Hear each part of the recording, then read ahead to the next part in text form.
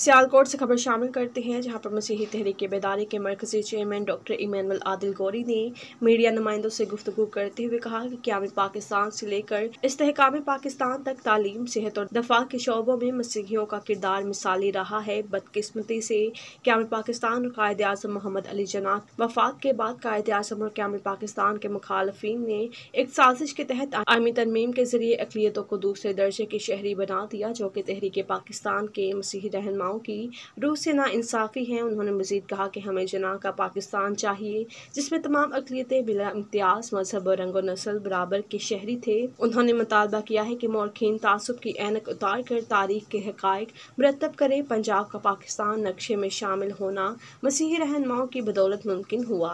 ज़रूरी है कि क्याम पाकिस्तान और इसकाम पाकिस्तान के हवाले से मसीही हीरोज़ की खिदमत को नसाब तालीम का हिस्सा बनाया जाए, ताकि आने वाली नस्लें उनकी खिदमत से आगाह रहें।